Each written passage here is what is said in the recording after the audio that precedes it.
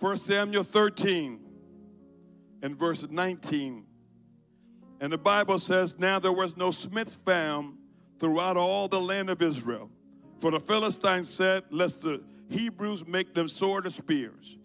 But all the Israelites went down to the Philistines to sharpen every man his share, his coulter, his axe, and his mattocks. Yet they had a file for the mattocks and for the coulters and for the forks and for the axes and to sharpen the goads.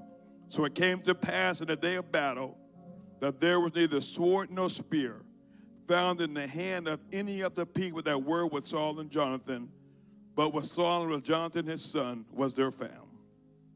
1 Samuel 17 and 10, here's Goliath talking, and the Philistine said, I defy the armies of Israel this day. Give me a man that we may fight together. When Saul and all Israel heard these words of the Philistines, they were dismayed and greatly afraid. Drop it down to verse 37. David said, Moreover, the Lord that delivered me out of the paw of the lion, out of the paw of the bear, who delivered me out of the hand of this Philistine. And Saul said unto David, Go and the Lord be with you. And Saul armed David with his armor, put a helmet of brass upon his head. He armed him with a coat of mail. And David girded his sword upon his armor, and he essayed to go, for he had not proved it. And David said unto Saul, I cannot go with these, for I have not proved them. And David put them off of him. And for a few moments today, I want to preach on the topic of what happened to the Smiths. Heavenly Father, we come to you right now, Lord. We ask, Lord, to anoint your word that we may receive it, anoint our hearts and ears to receive your word. Let us be changed to be like your glory, step by step, day by day, and through your word this morning. We thank you, Father, as we receive it. Put your hands together one more time as you're seated. If you're here today, your last name is Smith, I'm going to pick on you just for a few moments. I apologize, but I promise I'll make it up to you. Smith is the most common last name in America. Over two and a half million people have the last name of Smith. But sometimes the name doesn't seem real. Matter of fact, if your name is John Smith, people think it's a fake name. And if you marry somebody named Mary and you're John and Mary Smith, nobody's going to believe that's really your names. But Smiths have been around a long time. We've had 45 U.S. presidents, but none so far with the name of Smith. So maybe the Smiths should get together and do something about that. But the Smiths have been around a long time. When they look at the great events, even in American history, I believe a Smith was involved in there somewhere. The Battle of Bunker Hill, Revolutionary War. They said, don't shoot until you see the white of their eyes. Uh, I believe a Smith was there in that. Uh, when the call went to go west in the United States, a Smith was probably part of that also. When it was time to win the space race or, or the Cold War, the great things that happened in our country was built on the backbone uh, of people like the Smiths. And as many of you are aware, amen, the origin of our names many times came from what families used to do. If your last name was Baker, maybe at some point your family was a family of bakers. Uh, my last name is Stewart, so at some point there was some connection perhaps to being a steward or being a good steward of, something. And those with the last name of Smith, uh, if you trace it back far enough, probably has something in their family line to do with being blacksmiths. And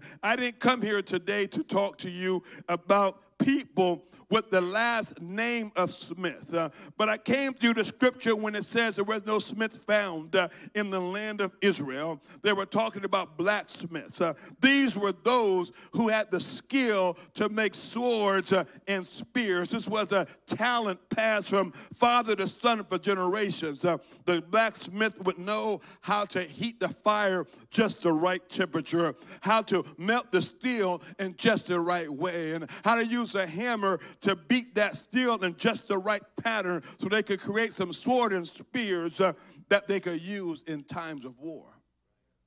And this time, when the enemy invaded Israel and took over the land, they didn't take the king. They left King Saul in place. They didn't disband the army. They left the army in place. Perhaps they knew if they went after the king or went after the army, there would be such a revolt that they could not conquer them. And, and God's people were in the promised land God had given them. And perhaps they had figured out that they could not drive God's people out of the promised land. Uh, but this time they had a plan. Uh, they were going to find every blacksmith, uh, every person that knew how to prepare weapons uh, for war, and they're going to take them back to Philistine until there was not one person left that knew how to make weapons. Uh, the Smiths, they had a legacy and a heritage. Uh, they had a fire and they had a hammer. Uh, and I wonder how did they find the Smiths in that land? Uh, maybe by the fire they had in their house. Uh, maybe by the hammers that they were swinging, the calluses upon their hands. Uh, but somehow they identified the Smiths and they begin to take them out one by one. I propose to you today, being raised in this church, church. Uh, I've known a lot of Smiths. Uh, they were not flashy. Uh, they were not well known. Some of them were not even in the ministry. Uh, they were not involved in politics, uh, but they were the ones uh, that kept the fire burning in the church. they came early for prayer meeting. they stayed all night. the fire was always on in their life. It was always on in their life. they had calluses on their knees from how long that they prayed, uh, and they were the ones that were preparing the church for battle, preparing the church for prayer. That's why I came to ask today what happened to the Smith. Philistines' plan was actually a genius plan. You see, because the blacksmithing skill uh, was passed down from generation to generation to generation, uh, and they knew if we could take out one generation of blacksmiths, uh, we would tie the hand of Israelites for many generations because no one will be left to teach the next generation how to make weapons of war. Uh, and now you have the entire nation of Israel with the king and with the army, but in the entire nation of Israel, only person left with the weapon was Saul and Jonathan. I propose to you today the enemy is not concerned uh, how many of us gather together if no one is prepared for war. Uh, if no one has weapons of war, just gathering together is not enough.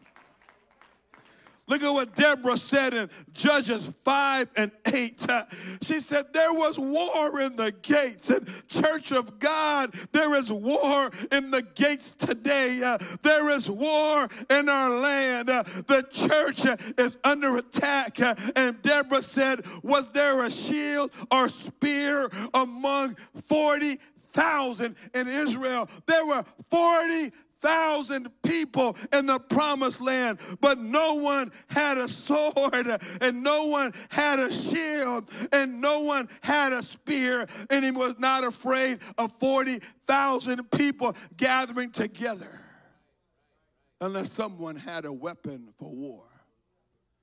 I'm not here to disparage the great job that was just done by our youth ministry team and the great conference we just had in St. Louis called North American Youth Congress. Uh, but I am troubled uh, because this year we made a booth called winyourworld.com. Uh, and as young people came through that booth, uh, we asked them one question Have you ever taught a Bible study? Have you ever won a soul to the Lord? Uh, and many of them did say yes. And many of them have started P7 clubs uh, and CMI chapters. Uh, amen. That bringing their friends uh, and bringing them to the Lord and taking them out of the devil's territory.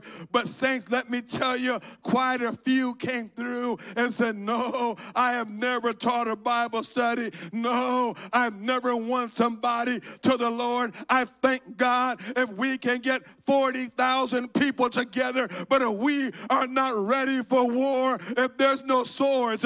Amen. If there's no spears, if there's no smiths getting ready for battle, what have we done?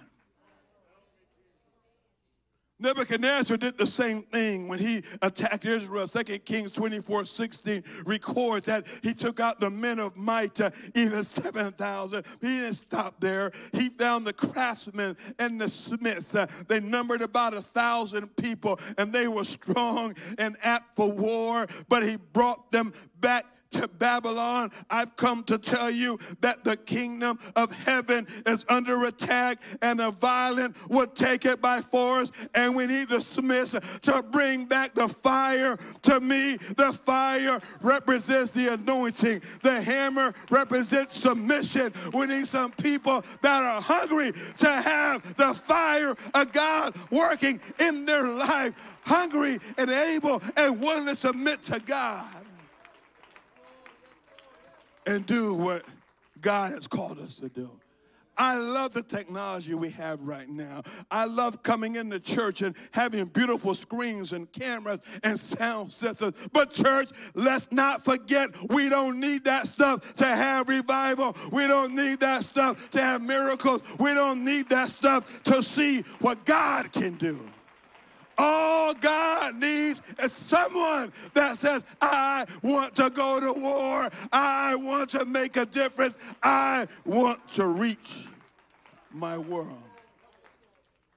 Reminded of when I was sitting there talking to J.R. Ensey, and he said he had a burden in the 60s because along the entire east coast of Florida, there was almost no churches. Uh, and Brother Pugh and Brother Yaden were the head of home missions back then. He went to them and he says, I want to drive up and down the east coast. Uh, I want to take pictures in every major city of barbershops, of buildings, of people on the streets. Uh, and I want to come to the General Conference in 1965 and I want to show those pictures. Uh, amen. And I want to see church started. Uh, and he was told, That's a great idea. If you can do that, we'll pay to develop the film. Uh, they gave him no money, they gave him no budget. He had no money. I said, What did you do? What? I said, I don't know. He said, I guess I stepped in my car, but he drove up and down the East Coast and they came to that general conference and showed those pictures. And 27 churches were started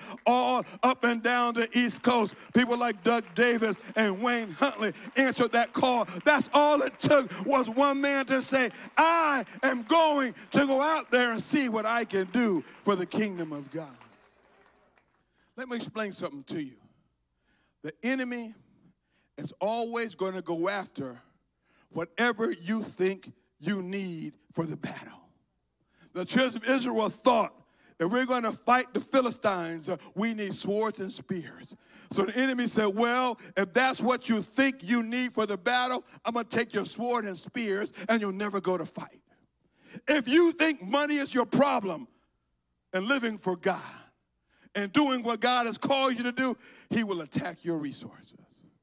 If you think your talent is the problem and why you can't do nothing for God because you're not talented enough. He will attack your confidence. Uh, whatever you think you need uh, to do what God has called you to do, whatever you think you need just to live for God and be faithful to God, that's what He is going to attack. And that's why he took out their smiths. Uh, that's why he went after their smiths. Then no one see what was happening when one uh, by one by one uh, the smiths were taken out. Then no one worry about the next generation of smiths, where they were going to come from. Then no one see what the enemy was doing. What happened to the smith? The great nation of Israel was reduced to farmers. All they had left was shares and coulters, which are hoes and axes and a pickaxe. That's all they had. And they had to take those down to the enemy to sharpen your weapons. Let me explain something to you. Don't look to the enemy to provide your weapons. Uh, don't look to the enemy to approve of your weapons. Uh, don't look to the enemy to sharpen your weapons because the weapons of our warfare are not carnal. We don't need to have what they have. We don't need their approval. We don't need to fit in to their system. God has called us come out from among them and be separate. God has already given you all of the tools and resources you need to do what He's called you to do. Some of you are struggling in your very walk with God. You take one step forward and two steps back you're struggling with addictions and lust and habits, I'm here to tell you today, you have what it takes to live for God. Uh, enemy has you believing that you can't be victorious. Uh, some of you, your marriage is on the verge of divorce. Uh, your kids are in and out of jail. The enemy has your back against the wall. You have what you need to have the marriage God wants you to have, the family God wants you to have, the life and ministry God wants you to have. He's giving you everything you need. Stop looking at what you don't have. God has given you what you need.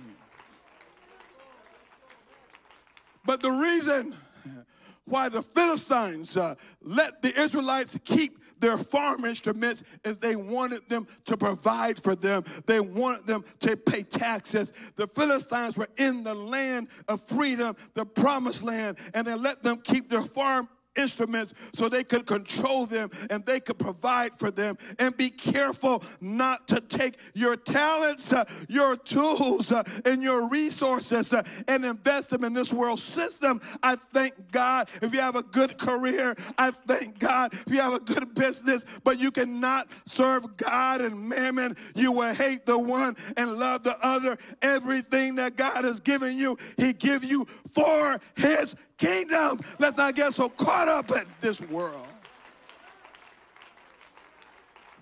God's called some of you to the mission field, plant churches, teach Sunday school, teach Bible studies, do more than Atlanta West, but you're too busy with the deceitfulness of riches and the cares of this life. I, am afraid the church, Pastor John has gone too far the other way. You know, for a while there, we didn't believe in Christians having professions or being doctors and lawyers and teachers. And I thank God for apostolic professionals. We need more of them. I'm not here to talk against professionals, but I wonder sometimes we're going too far the other way. I'll be honest with you, I went to a Christian Life College when it was an unaccredited Bible school, and I struggled my friends struggled, and I told myself when I get married and have kids, they're not going to go to Bible school. They're going to go to a real college and get a real job. Now, the Lord has blessed my wife and I with three beautiful daughters who did go to school and, and, and, follow their careers, and God is using them to use their careers for the kingdom of God, and I thank God for that. And I don't believe that Bible college is for everybody. I'm not saying that God wants all of you to go to Bible college. What I'm ashamed to admit that one of my daughters had come to me back then and said, Dad, I feel a call to go to Bible school. I would have fought them and tried to talk them out of it. But I look back now with my unaccredited Bible school degree, and I see how God has blessed my wife and I beyond our wildest dreams. Uh, We gave our life to the kingdom of God. We didn't give our life to God's kingdom to get money, to get whatever, to get a business. Uh, but the Bible says, Seek ye first the kingdom of God. And I'm telling you, I look back at my life and the blessings that God has given me that I don't deserve. Uh, and I'm ashamed to admit that I would not have wanted my children at that time to make the same sacrifices that I made because now I want to say, honey, if God has called you to do that, God will take care of you. You take your talents, uh, you take your resources, you take all you have and give it to God. And you will never regret that. I was raised in the country of Liberia, West Africa, in the midst of war and so much turmoil and strife. And God kept my family's bullets flying through the house, rocket propelled grenades landing in the house that didn't explode. And God kept us. But am I ready for my children to go to a war torn country also? I'm telling you, saints of God, it's time to understand that we have to make a stand. It's time to say, what happened to the Smiths? What happened to the fire? What happened to submission? What happened to trusting God? What happened to the Smiths? Let's look back at 1 Samuel chapter 17. The Bible says in verse 10 Goliath the giant came out for 40 days and he defied the armies of Israel. Give me a man that we may fight. And Saul and Israel heard the words. They were dismayed and greatly afraid. You know, I used to criticize the army of Israel a lot that stood on that hillside for 40 days. Put yourselves in their shoes. They had no swords, they had no spears. They had two swords in the whole country. They're standing here. Here's Goliath, nine and a half feet tall. Just the tip of his spear weighed over 15 pounds. His coat of armor weighed 150 pounds. Here's Goliath standing, you standing there. One guy's got a hoe, you know. Guy next to him got a little pickaxe. Guy next to him got a rake. You're the army, you're standing on this hillside. I don't blame them when you look at it that way. I think it's surprised they kept showing up for 40 days, you know. I'd have thought they'd stay home after a while. So the fact that you're here means something to me. At least you showed up. You may have felt like you don't have a weapon.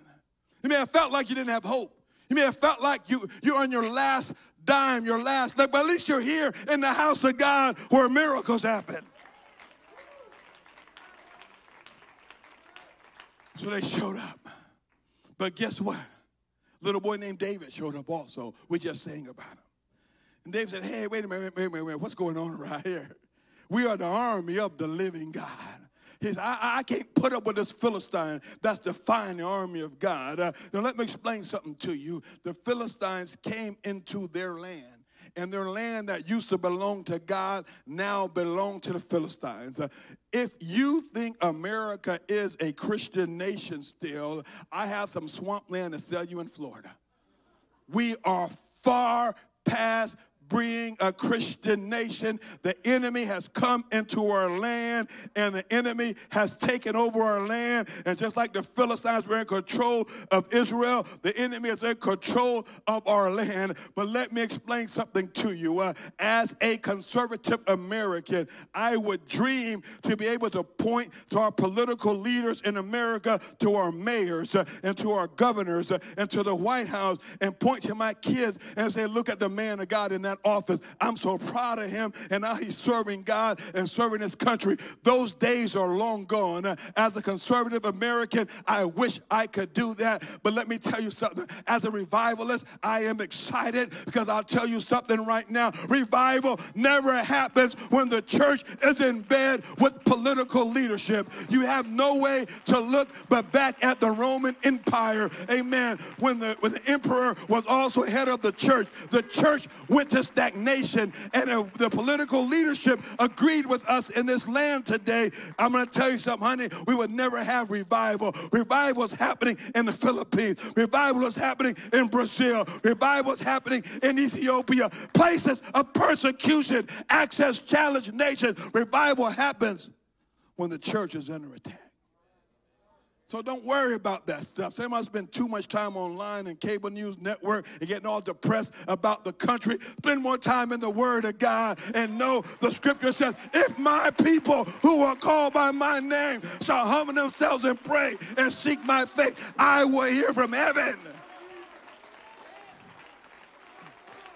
God's not waiting to see what happens in the next election. He doesn't care who sits in the White House. God can send revival if his people called by his name. That's the answer for America. But David looked at this sad situation. Came before the king. Said, King, let me explain something to you. The Lord delivered me out of the paw of the lion. The Lord delivered me out of the paw of the bear, willing me out of the hand of this Philistine. And I used to really admire David. And I say I don't admire him, but I really admired David fighting the lion and the bear with his bare hands. But when I realized when I started studying this, he didn't have much choice. He had no weapons. One like David was saying, well, I have a four-inch sword here and a six-foot spear here. No, I'm just going to fight him. No. David was in a place where it was him the lion. It was him or the bear, or they're going to take some of his sheep. And David said, I'm going to trust God and I'm going to fight this lion with just my bare hands. You know, some of you, the devil's coming after your kids. The devil's coming after your finances. The devil's coming after your marriage. And you sit back and say, What can I do? I don't have nothing. What David said, All I got is my bare hands and God. And greater is he that is in me than he that is in the world. Get to fighting. Get to swinging. You may not have a sword in a spear. It look like you have a chance, but start right where you are. right where you are. All I got is just my bare hands. But guess what? I got God, and that's all I need. So stop looking at what you don't have. Davis, I got my bare hands. And so let me tell you something. The same God that used his bare hands to kill that lion. I believe when he killed that lion, he was killing his fears. Because a lion roars and creates fear. He said, The same God delivered me out of this bear, representing his personal struggles and temptation. Wrestling with that bear, I, I got some victories in my life that God brought me through. Amen. Saul said to David, Go and the Lord be with you. But Saul didn't stop there. He said, Saul, he said, Saul said to David, I'm going to give you my armor. I'm going to give you my helmet. I'm going to give you my coat of mail. Give you my sword. I used to, first I used to criticize Saul for giving his armor to David. You know I realized? That was 50% of all the armor in the whole land of Israel. That was actually a pretty big vote of confidence Saul had. Only had two swords. So Saul said, We only have two swords, one coat of armor. But David, I'm willing to give it to you. But guess what David said? Saul, thank you very much but I have not proved this. I'm going to go with what I have proved. Uh, I've come to tell somebody today, uh, you might be broke today, but I didn't stop Peter. He said, What? Silver and gold have I none, but such as I have give I thee in the name of Jesus Christ of Nazareth. Rise and walk. Go with what's been proven. The name of Jesus has been proven, the power of the blood has been proven. The don't worry about what you don't have. Go. What's been proven? I fear sometimes that we've lost some young men that have walked away from what we believe because we never gave them a weapon. They thought they needed a sword and a spear. And someone out there told them, if you have this size screen, if you have this kind of postcard, uh, if you drop your beliefs and change your standards, uh, then you can build a church. Uh, and because we lost the Smiths, uh, and because they had no apostolic weapon to take with them, uh, they compromised what they believe. I'm here to tell you, let's keep with what's been working. It's a day of Pentecost, amen. When Peter stood there and said, Men and brethren, what shall I do? He told them, Repent and be baptized, every one of you, in the name of Jesus Christ. And and ye shall be filled with the gift of the Holy Ghost. Let's go with has been proven. We don't need new armor. We don't need new sword. Let's just go with what's been working for all these years. But Look what happened next. In verse 42, he stands there before the giant. The Bible says the giant disdained him. The giant ridiculed him. And look at why in verse 42 why the giant ridiculed him because he was a youth ruddy of a fair countenance. I found that interesting when he, he, he disdained them because he was ruddy, red faced. Look at 1 Samuel 16 and 11. Samuel said to Jesse, These are your children. I came to anoint a king. And, and Jesse said, You know, I forgot about the little baby David. He's the youngest. He just keeps the sheep. Samuel said, Bring him to me. And he came in. Look at the next verse. Brought him in. And what does Samuel see? He was ruddy and of a beautiful countenance. And the Lord said, Arise, anoint, for this is he what qualified David to be king. And Samuel looked at him, he's ruddy and of a good countenance. And what the enemy ridiculed in him was the very same thing ruddy and of a good countenance. The enemy is going to ridicule what God values. What is in you that attracts God? What is in you that brings favor in your life? What is in you that God's going to use? The enemy will always ridicule. That is not enough. I've come to tell you something today. The Bible's called you to be separate. He's called you to be set aside. He's called you for a purpose. Let the enemy ridicule you by how you look and how you're dressed and what you don't have. But what the enemy ridicules is what God used to anoint you and take you to the next level. Look on down. Verse 44. The enemy said to David, Okay, little boy with the red face, come on down here. I got news for you. I'm going to take you, and I will give your flesh unto the fowls of the air and to the beasts of the field. That's what enemy said he was going to do. So the enemy will tell you what he's about to do. And if you're not full of faith, if you're not full of fire, You haven't been in that blacksmith room. Let the fire of God burn in you. That fire is the anointing. That hammer is submission to the will of God. If you get in a place alone with God and you let the fire flow and you submit yourself to God, God will give you a word that'll take you against any giant. But the enemy will tell you, I'm going to steal your marriage. I'm going to destroy your ministry. I'm going to make you back out there hooked on drugs. I'm going to put you on the streets again. Enemy will tell you all kind of stuff, what he is about to do. But don't let the enemy do all the talking. When you got a fire inside of you, look that enemy right in the face. And David said, wait a minute, Mr. Giant. Hold off a minute, Mr. Giant. I got something I need to say to you. Mr. Giant, you come to me with the sword and the spear and the shield. But guess what, Mr. Giant? I come to you in the name of the Lord of hosts. I ain't got nothing but the name of Jesus. Some of y'all need to go home with nothing but the name of Jesus. Some of y'all too proud of the car you drive. Some of y'all too proud of the clothes you wear. All you need is the name of Jesus. You may lose that car, you may lose those clothes, but I ain't never losing the name of Jesus. And let me explain something to you, Mr. Giant. You said you're going to take me and feed me to the fowl, the beasts of the field. But let me explain something, Mr. Giant. I'm going to tell you something about to happen here. You've defied the God of Israel. And now, two things are about to happen.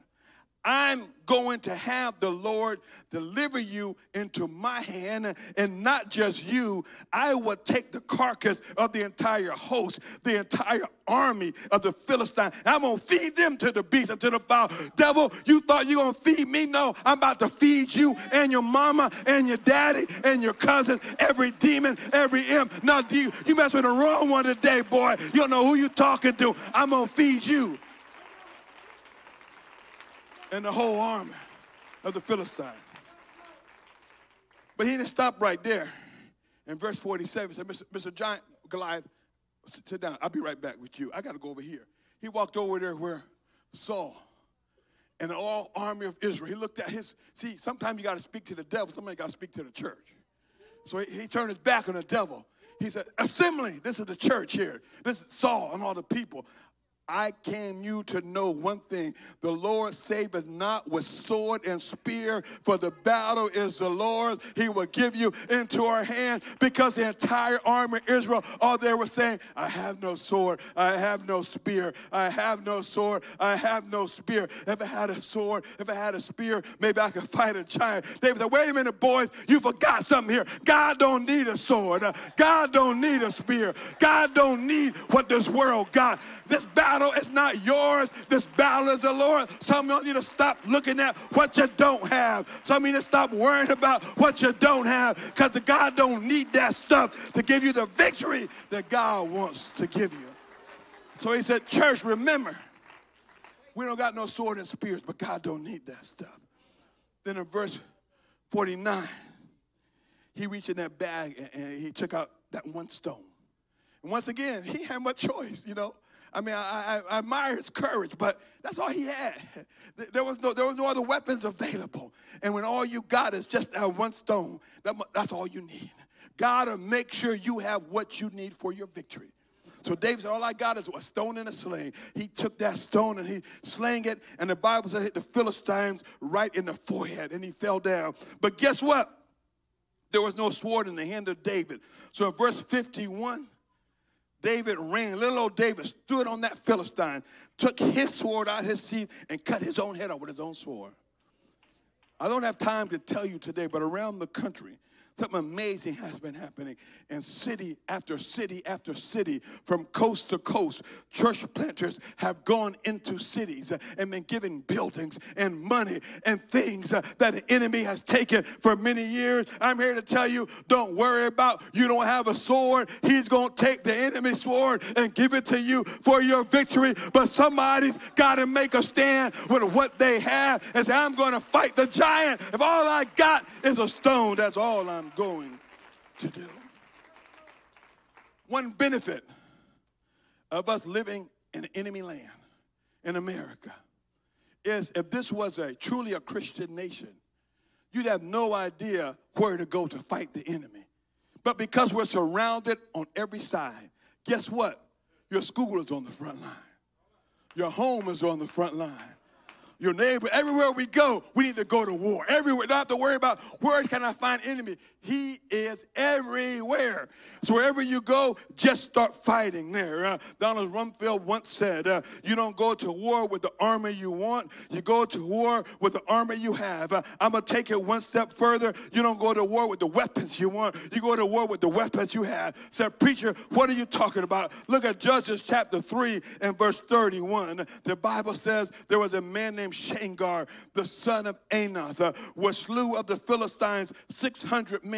Shamgar, what did you have? What size sword? What size spear? All he had was an ox goad. All he had was a cattle prod. Uh, I'm going to tell you something. Yes, Shamgar would have been nice to have a sword. Well, I got a cattle prod to poke the cattle on. I'm going to take that cattle prod. I'm going to kill 600 men today. Just go to fighting what you got. Just go to fighting with what you have. All I got is a cattle prod and Jesus, all I need.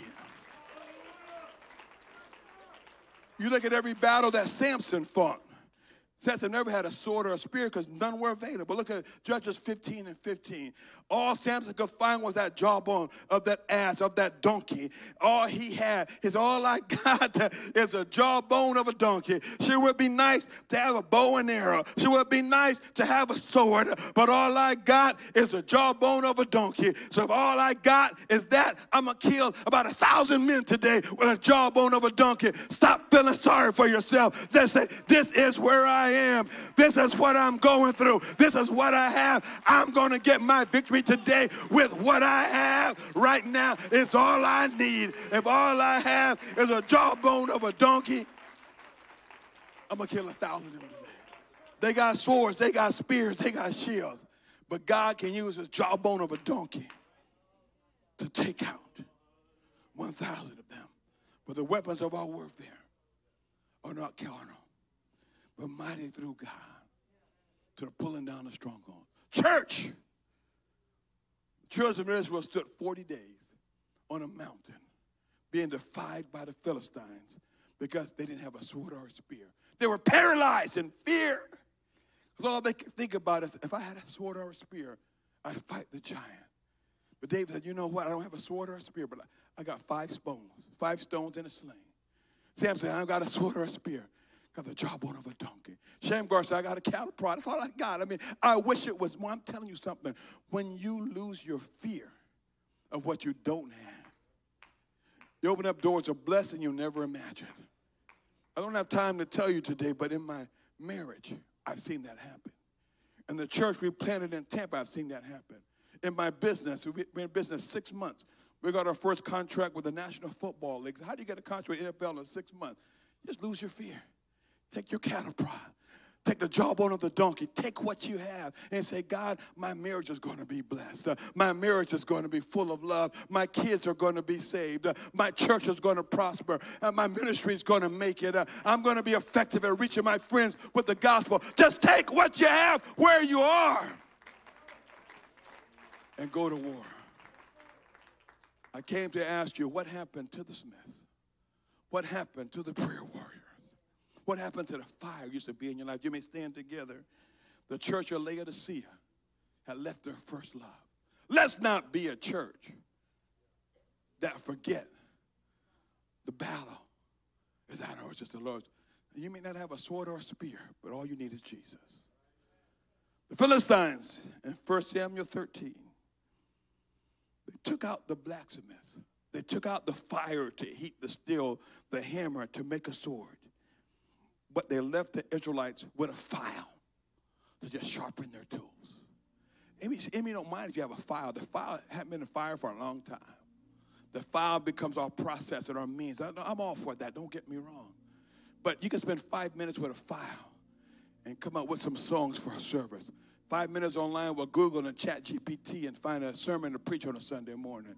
You, you can spend five minutes, you know, getting in the morning, barely praying, get, get out the door. As your pastor said, just a list of petitions, just five minutes. You know, you can file the edge just a little bit, enough to break the ground. Not enough for full victory, just enough to hack your way to make it for five more minutes. Uh, but I want some people to say, you know what? I'm getting a sword and a spear. I'm killing the enemy. I'm destroying generational curses. I'm tired of just filing things off and making it one more day. I'm tired of barely making it and just trying to file it a little bit more a day, just trying to make it day by day day. God has promised you are more than conquerors, and He has a plan for your life. He wants to bless you, He wants to bring revival to your church, to your family, to your life. Throw the file away and say, What happened to the smith? I want the fire to fall. I want the anointing to be there. I want to be used of God. I want to give God all of me, and you'll be delivered from your sin and your addictions. You'll have faith, you'll have hope, you'll be willing to do and go where God will want you to go.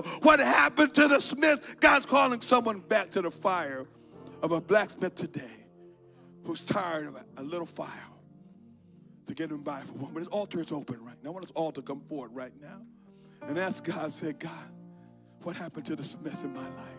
What happened? What happened? What happened? I'm tired of going through the motions. I want the Holy Ghost in fire. I, I, I want to be full of you. I'm tired of one step forward, two steps back. I'm tired of struggling with addictions and sins and habits, but I'm full of the fire for God. What happened? What happened?